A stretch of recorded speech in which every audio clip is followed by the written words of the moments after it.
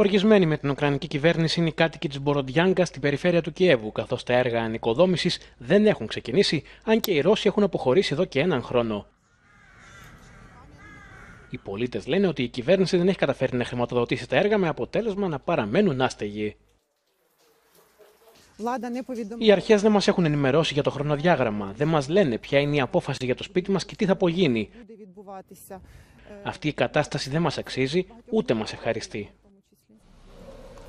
Οι τοπικές αρχές της πόλης απαντούν πως παρά το γεγονός ότι υπάρχουν κάποια χρήματα για την ανακατασκευή κατοικιών, είναι πολύ δύσκολο να καταρτιστεί πλήρες σχέδιο των εργασιών. Οι δημοτικοί σύμβουλοι δεν συμφωνούν στον τρόπο κατανομής των χρημάτων.